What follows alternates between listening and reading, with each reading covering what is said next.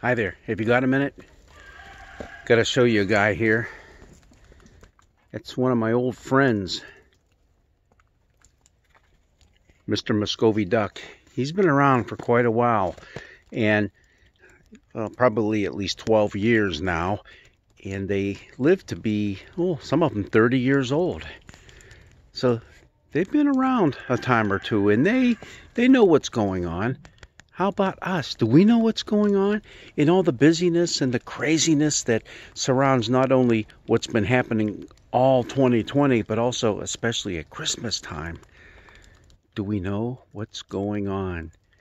Do we realize the amazing gift that is given to us by God? That gift of love, that gift of everlasting life. Let's not lose sight of that. And let's keep on moving on just as that duck is moving on, knowing that we rest fully in His love. Thank you for your time.